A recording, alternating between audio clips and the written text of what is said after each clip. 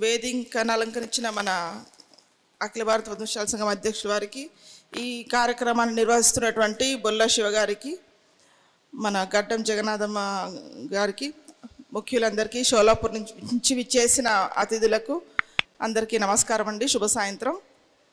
నాకు పాలిటిక్స్ గురించి మొత్తం నిల్ నాలెడ్జ్ అసలు. నాలెడ్జే లేదు. పాలిటిక్స్ గురించే నాకు తెలియదు కానీ నేను అనుకున్నది ఏంటంటే ఒక ఓటర్గా ఓట్ హక్కు అయితే నాకు ఉంది కదా. అటు నుంచి నేను ఏం ఆలోచిస్తున్నానంటే మన వాళ్ళు ఇప్పుడు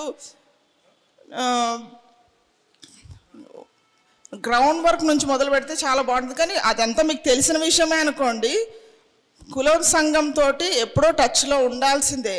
ఎందుకంటే ఇప్పుడు ఇప్పుడప్పుడు వచ్చి ఎలక్షన్స్ ఉన్నాయి. ఒక ఆరు నెలల ముందో సంవత్సరం ముందో వచ్చి ఇక్కడ పద్మశాలి సంఘానికి వచ్చి మన సంఘాలతో వచ్చిపోవడం కాదు. ఎప్పటికీ మన కుల సంఘంతో టచ్లో ఉండి మన మన వాళ్ళతోటి కలుపుగోలుగా ఉండి అక్కడ కార్యక్రమాలలో యాక్టివ్గా పార్టిసిపేషన్ ఉంటే నువ్వు ఎవరు అనేది ఒక మన మనిషికి మన వాళ్ళకి తెలుస్తుంది. అరే మనవాడే మన మనిషి అని చెప్పి మీకు సపోర్ట్ చేస్తారు. వాళ్ళ ఏరియా కాకుండా కూడా వచ్చి కనీసం మీకు మారల్ సపోర్ట్ ఇస్తారు. ఇంతమంది ఉన్నారా అని అక్కడ ఓట్ వేసేటోళ్ళు ఎంతో అక్కడ ఏరియా వాళ్ళు ఎంతో ఎవరికి తెలియదు కానీ కనీసం కనిపించడానికన్నా మనుషులు కనపడతారు కదా. అనేది నా ఉద్దేశము.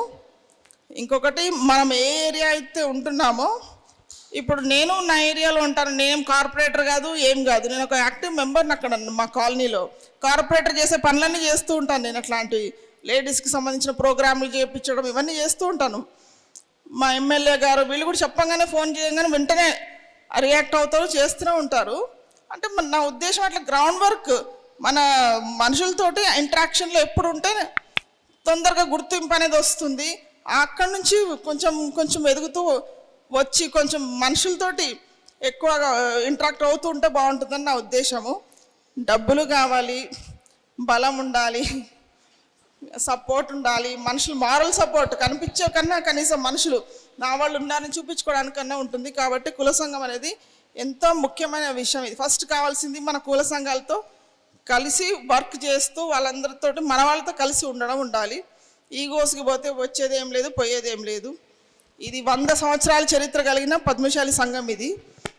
పెద్దలు ఎంతో కష్టపడి దీన్ని స్టార్ట్ చేసినారు. ఇప్పుడంతా రెడీగా ఉండి ఫ్రూట్స్ అన్ని వచ్చేసి మామిడి పండు చెట్టు కథ ఉంటుంది చూడండి అట్లా రెడీగా ఫ్రూట్స్ దొరుకుతున్నాయి మనకు. ఇప్పుడు నేను ఒకటి పెడతా నేను ఒకటి పెడతా ఏదైనా సంఘం అంటే అది ఈజీ చేయడానికి ఎవరికైనా పనులు. కానీ గ్రౌండ్ లెవెల్ నుంచి వర్క్ చేసుకొచ్చినటువంటి వాళ్ళు ఉన్నారు అందులో ఆద్యులు గుంటకి నరసే పంతులు గారు. ఆ పంతులు గారి మనవడి భార్య నేను. ఈ మధ్యనే నేను తెలంగాణ పదవిశాల సంఘం మహిళా విభాగానికి అధ్యక్షురాలుగా నియమితులైనాను. వారు చేసిన సేవల్లో కనీసం ఒకటో వంతన్న మన కులానికి సేవ చేసుకునే అదృష్టం నాకు వచ్చిందని నేను భావిస్తున్నాను. ఇంకొకటి రాజకీయాల్లో అంటే ధైర్యంతో కూడుకున్న పని అది. ధైర్యం ఉండాలి ఫస్ట్. అది ఉంటేనే ఏదైనా ముందుకు ఒక అడుగు వేయగలుగుతారు. కొండలక్ష్మణ్ బాపూజీ గారికి అవన్నీ ఉండే. పంతులు గారు ఆయన వెనకుండి ఆయన నడిపించినారు. అంతేగాని నేనే ఆ లీడర్షిప్ క్వాలిటీస్ నాకు ఉన్నాయని ఆయన ముందుకు వెళ్ళలేదు. అంటే ఎవరు ఎలిజిబుల్ దేనుకున్నారో అదే చేస్తే బాగుంటుంది అని నా ఉద్దేశం అది. అంటే వాళ్ళంత పొలిటికల్గా స్ట్రాంగ్ ఉన్నారు. ఆయనైతే నిలదొక్కగోగలరు లీడర్షిప్ క్వాలిటీస్ ఆయనకే ఉన్నాయి.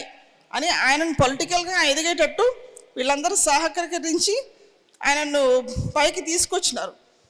ఆయన కృషి ఉంది వీళ్ళ మన కుల సంఘాల్లో సపోర్ట్ కూడా ఉంది వాళ్ళకు మన బాపూజీ గారి నుంచి. సో మన వాళ్ళు కూడా పొలిటికల్గా ఉన్న వాళ్ళకి మనం స్ట్రాంగ్గా మనమందరం కలిసి సపోర్ట్ చేస్తాము.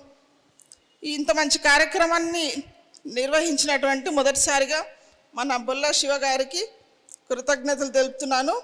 ఈ కార్యక్రమానికి ఎంకరేజ్ చేసినటువంటి మన స్వామి గారికి మరి మరి ధన్యవాదాలు తెలుపుకుంటున్నాను.